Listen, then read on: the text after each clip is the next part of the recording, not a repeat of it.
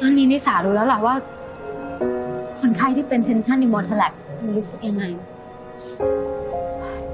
พิมอยากจะเอาเข็มเบอร์สิบหกพิมลงไปแล้วก็ระบายมันออกมา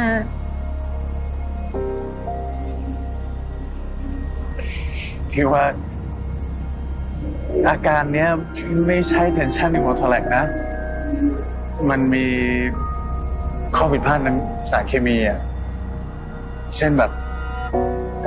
ความรัก มันก็จะทำให้เราหลั่งสารเฟโรโมนออกมา แล้วมันก็จะส่งผลต่อฮอร์โมนของเราไม่ว่าจะเป็นเอสโตรเจน